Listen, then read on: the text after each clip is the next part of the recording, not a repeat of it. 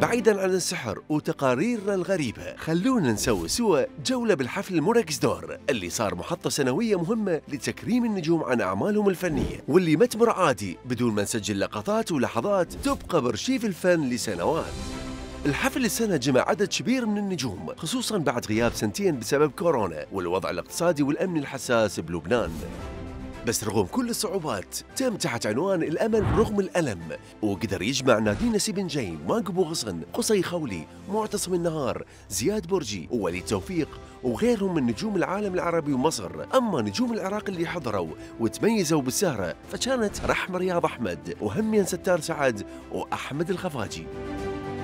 البداية ويا رحمة وألكساندر اللي وصلوا سوا على السجادة الحمراء وكانوا أجمل ثنائي. ورحمة حضرت على مود تتكرم كأفضل مطربة عربية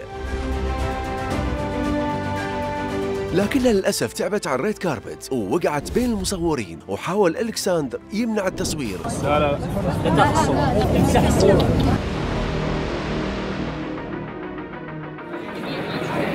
ما كان كلش عصبي وعنيف بس هذا كله حبا برحمة وحفاظا على صورتها وطبعا تم نقلها للصليب الأحمر ومعالجتها.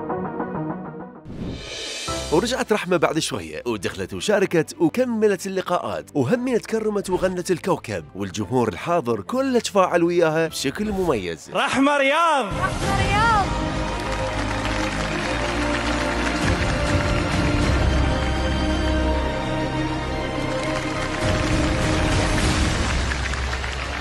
فرحانة أنه بلدي العراق صار له وجود.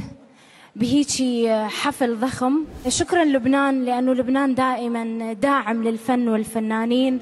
مبروك يا رحمة تستحقين التكريم وكنتي كلش حلوة وأنيقة همين ألكساندر كان كلش مميز بحضوره وكان داعم لزوجته رحمة. هذا الشيء ملفت كلش ويدل على نضج وثقة النفس. أني والله جاي سبورت زوجتي فما أعرف من راح يستلم وما أعرف من راح يتكرم بصراحة. جاي أشوفها تغني اليوم إن شاء الله. بعد رحمة وألكساندر وبنص الزحمة على النجمة نادين نسيب جين. سرقنا منها كم كلمة؟ عم بتكرم عن عم باخذ جايزة عن مسلسل 2020 وخمسة ونص. تستحقين التكريم يا نادين. همين ماق ابو غصن تستحق تكريمها على مسلسل الموت العمل اللي حقق نجاح كبير عربيا. أفضل ممثلة عام 2021 عن مسلسل للموت دور سحر. اما معتصم النهار لمن وصل سوى زحمه وتكاتلوا عليه الصحفيين وحاول تلبيه طلبات الكل ورصدت كاميرا Stars on UTV لحظات حصريه بينه وبين الممثله المصريه حوريه فرغلي تغزل بيها وبانفها اللي سوتها أكثر من عشر عمليات ترميم وكانت حديث الناس بسببها لاشهر حورية حورية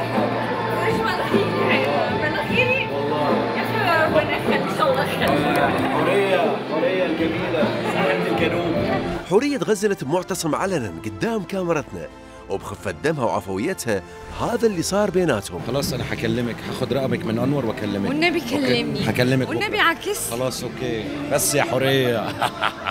خلينا نرجع للجد. معتصم حصل على جائزة الممثل الجماهيري وهي كان إحساسه تجاه التكريم. الجائزة بتعني لي كثير من بلد غالي على قلبي ومن مهرجان له سمعته عربيا. أحلى شيء بالحياة النجاح والنجاح ما بيتكلل إلا بتكريم يليق فيه. التكريم كان يعني بالنسبة لي رائع جدا. ثانك يو